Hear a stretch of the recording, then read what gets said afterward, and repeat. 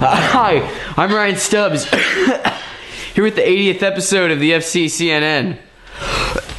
so, Nathan, I don't have any of my textbooks, and I'm failing all of my classes. That's probably not a good thing. No, it's not. Maybe you get your textbooks at the bookstore. Are you kidding me? I'd have to pop some tags, and I only got $20 in my pocket. Textbooks run for about 50 Let's do some simple addition. $50 for a textbook, that's just simply ridiculous.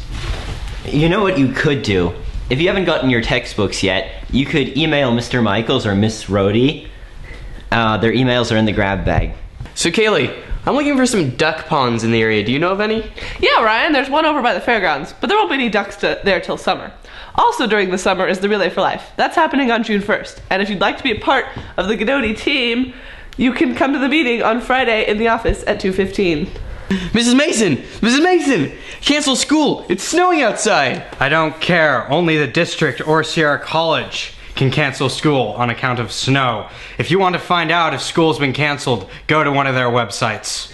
But, Mrs. Mason, what about the ducks? Where will they go? Ask some cab driver. Hello, Ryan. I'm Batman. Okay, Batman. Have you heard that they moved the movie night? When is it? March the March first. When is it? March first. Oh. Okay. There will be a scavenger hunt. A Scavenger hunt. Can we trust it? Yes, it starts at 4:30. Good. But I couldn't. And then every time, every time I get that far, I wake up.